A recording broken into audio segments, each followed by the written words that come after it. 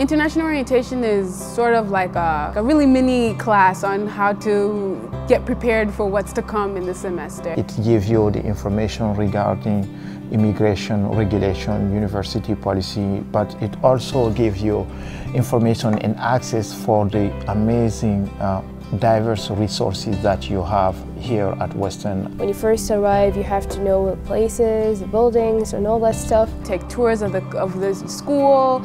They had um, Q&A sessions. Just to make students um, feel welcome and um, let them know that they're not alone here. They will show you what you want, what you need, and what you have to do. So this is why the International Student Orientation is important.